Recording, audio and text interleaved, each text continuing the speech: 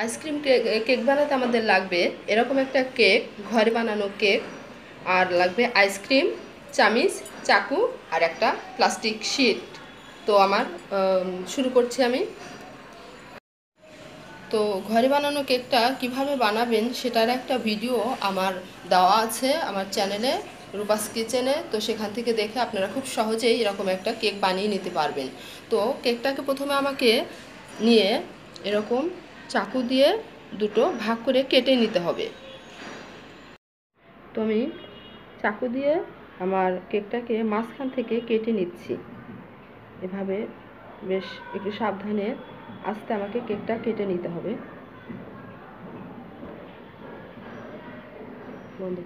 তো আমি কেকটাকে এভাবে দুই ভাগ করে নিয়েছি, আর এখানে একটু এটা এই উপরের পাশটা একটু সমান করে নিতে হবে। খুব বেশি সামান্য একটু কেটে নিলেই হবে। আমাকে কেটে নিতে হবে। আর আইসক্রিমটাও এরকম থাকবে, একটু নরম নরম হতে হবে, না হলে এটাকে ভালো বসানো যাবে না। তো আমার আইসক্রিম নরম হয়ে গিয়েছে, এখন আমি এটা সেট করব। আইসক্রিম কেকটা বানাতে চাইলে আমরা যে মোল্ডে কেকটাকে বানিয়েছি, ঠিক ওই মোল্ডেই নিতে হবে। কারণ মাপটা সমান থাকতে হবে, না হলে এই আইসক্রিম কেকটা বান ঠিক মতো বানানো যাবে না। তো আমাকে প্রথমে একটা প্লাস্টিক শিট বিছিয়ে নিতে হবে, তারপরে আমি কেকের একটা স্লাইস নিচে বিছিয়ে দিলাম। এবার আমি দেবো আইসক্রিম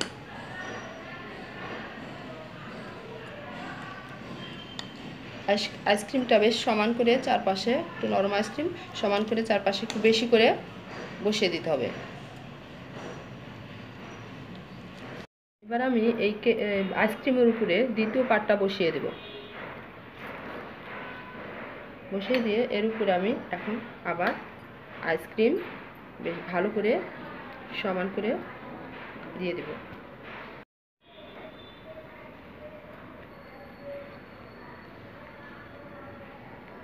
বেশ অনেকটা আইসক্রিম লাগবে।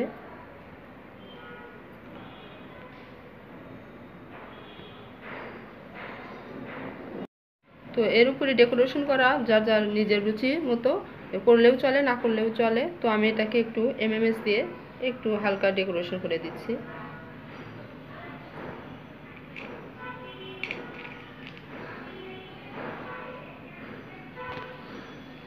এটা আমি এমএমএস দিয়ে সাজিয়ে নিয়েছি। তো আপনাদের ইচ্ছা মতো এটাকে সাজাতেও পারেন না পারেন। তো এখানে এটাকে আমি এভাবে ডিপ ফ্রিজে রাখব বলে অন্য খাবারে যেন স্মেলের মধ্যে না ঢুকে, সেজন্য আমি একটা আলাদা একটা বক্সের মধ্যে এটা রেখে সেটা দিয়ে দিব। দিয়ে তারপর আর একটা ঢাকনা দিয়ে আমি ডিপ ফ্রিজে এটা পাঁচ ঘণ্টার জন্য, পাঁচ ছয় ঘণ্টার জন্য রেখে দিই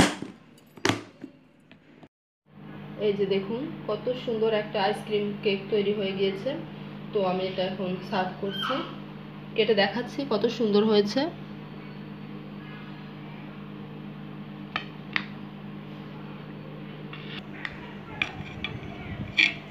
আর ডেজার্ট তৈরি হয়ে গিয়েছে তো দেখো ছাদ খেয়ে কেমন হয়েছে? টেস্টি হয়েছে। তো আমার আমার এই ডেজার্ট আইটেমটা যদি আপনাদের ভালো লাগে সাবস্ক্রাইব করবেন লাইক শেয়ার কমেন্ট করতে ভুলবেন না। আর আমার প্রতিদিনের আপডেট রেসিপিগুলো পেতে চাইলে আমার আমার প্রতিদিনের আপডেট রেসিপি রেসিপি